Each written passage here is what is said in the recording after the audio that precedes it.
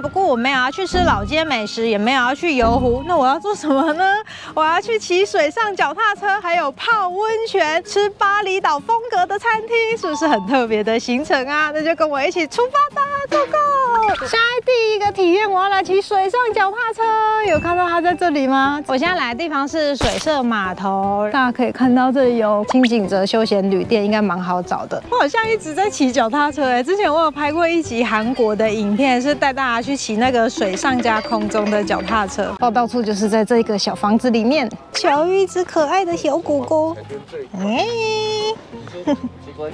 这边就是这里所有的游乐设施，他们有独木舟，然后有 SUP 立桨、水上电动船，然后如果大家可以的话，可以来这个日出团，会超漂亮。我现在先穿救生衣，左脚先踩，左脚先踩，啊，右脚跨过去。好，直接上去了哦。对，好，好，好的，得到吗？可以啊，有点勉强，有点勉强，但还是可以。这是可以动的吗？可以。哦，真的哦、好，那还是动一下好了。踩黄色的地方，啊，站起来，好。哇，我的腿太短了。这样嘞。哎，好多了，那我要出发喽！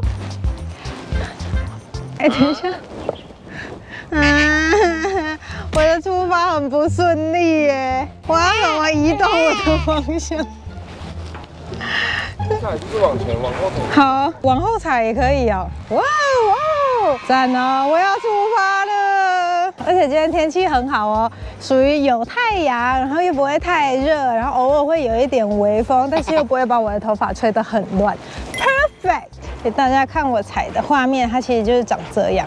然后它就龙头控制自己的左右边，脚认真踩就可以了。日月潭近几年的水上活动真的是越来越多，所以大家如果有来玩的话，其实除了搭船，还可以尝试很多不一样的游乐设施。啊，如果你在落雨松季节来的话，这一排就都会是落雨松哎。先带你们去兜风哦，我们去那里绕一圈。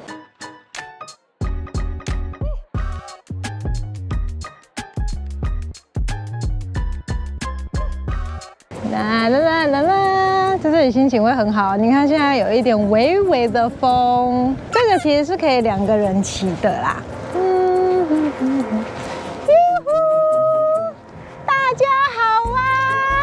还是要跟那个骑脚踏车的人打招呼。嗨，有人看到我吗？我是 Heaven 哦，还在这里跟大家自我介绍。整个活动的时间有一个小时，其实大家就是可以在这个水域上面自由活动，然后工作人员就会在旁边看着你，算是蛮安全的、因为这里的水域也很平静。那现在时间也差不多，我就要回去岸上喽。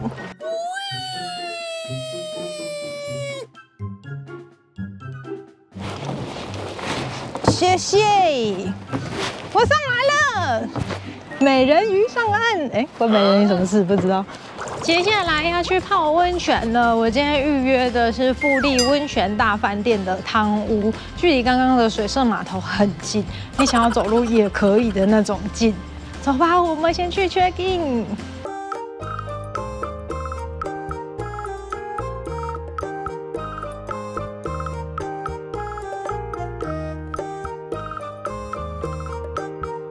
进来汤屋里面呢，先给大家看一下环境。哇，这汤屋超爆大，还有景观池哎。如果大家是比较在意隐私的话，这上面也有帘子可以拉下来，然后再走过来这边就是卫浴的部分，盥洗区跟厕所是分开的两间。看完之后，我要来换衣服，我们去泡汤。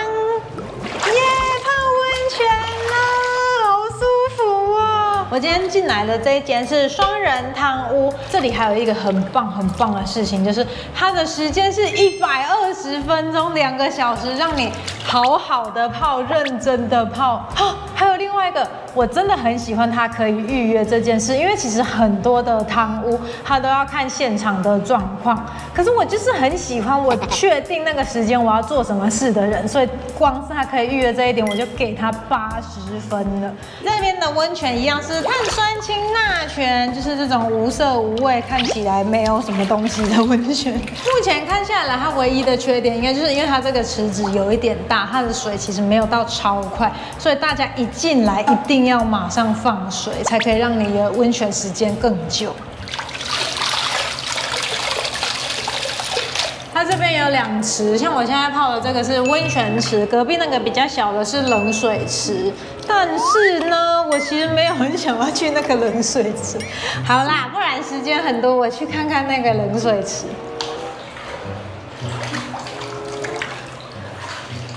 我刚刚还是有放水。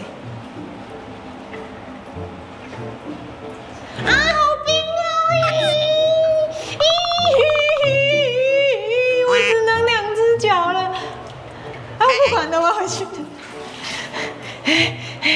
啊，哦，我像是在这里洗三温暖吗？一下冷一下热的，还是温泉好。温泉我就饿了，我现在来到南投的巴厘岛，准备要来吃饭。隐藏在鱼池香山林里面的乌布雨林巴厘岛主题餐厅，而且我现在走的地方就是他们的停车场，非常的方便。然后转过来这里就是它的大门，它大门就很有异国风情。走吧，我们走过这个任意门，准备前往巴厘岛。进来就超漂亮的！它在餐厅的门口还保留很大片的户外空间，而且这左右两边全部都是发呆亭，真的是让你随便拍都有度假的感觉。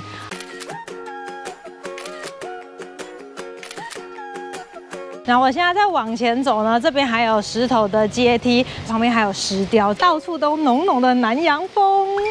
我现在已经进来坐好了，它的餐厅是在二楼，是窗户打开开的状况，而且我现在看出去的外面旁边都有水池的造景，氛围营造的蛮好的。我们来看一下它的菜单，那菜单里面有包含前菜、汤品跟主食，主食有五种选择，然后都需要一成的服务费，后面还有一些是加点跟饮料。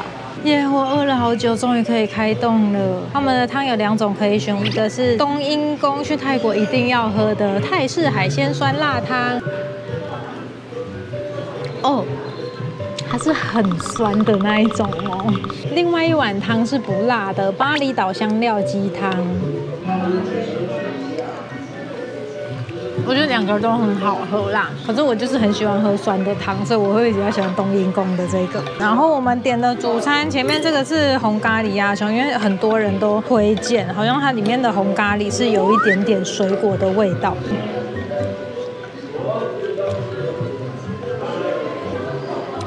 真的很水果哎，哦，这整个很我的菜，哇，真的是不知道是红毛丹还是荔枝哎。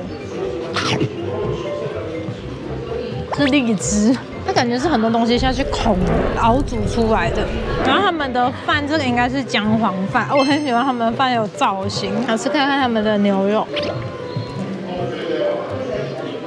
它不至于到不好咬，但也不用想说一定要超嫩的那一种，整个都还算满意。然后它的套餐里面还有两个小菜，这是虾饼跟小黄瓜。